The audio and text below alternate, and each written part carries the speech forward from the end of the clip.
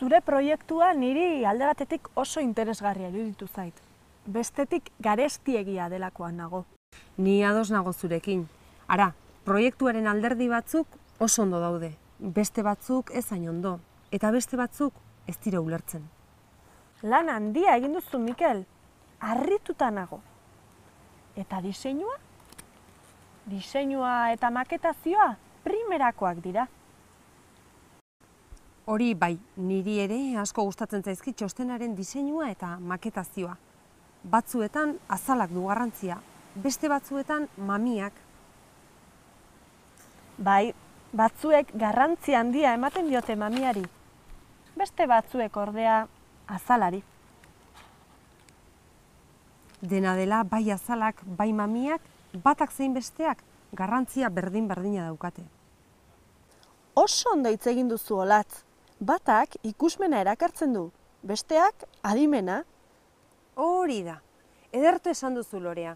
Anderren proiektuaren kasuan, bata oso ona da. Bestea berriz, nahiko atxarra. Bai, nik ere alde batetik oso gustora ikusi dut, baina bestetik ez dut ulertu zer esan nahi duen. Ados nago.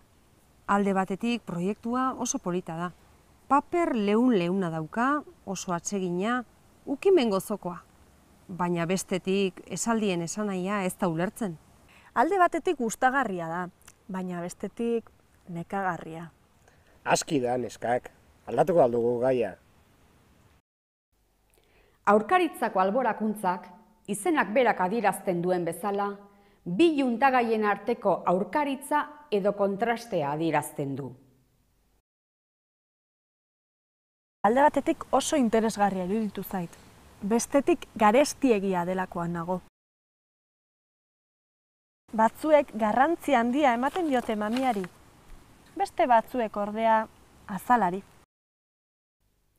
Ikusi duzuenez, aurkaritzaren osagai biak kasu berean deklinatuta daude.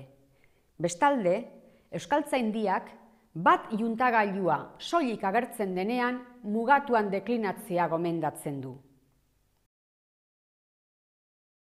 Bata oso ona da.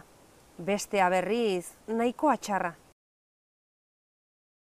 Batak ikusmena erakartzen du, besteak adimena. Egitura hori maiz eta eta baina juntagailuekin batera erabiltzen da. Alde batetik proiektua oso polita da. Paper leun leuna dauka, oso atsegina, ukimen gozokoa. Baina bestetik esaldien esanaia ez da ulertzen.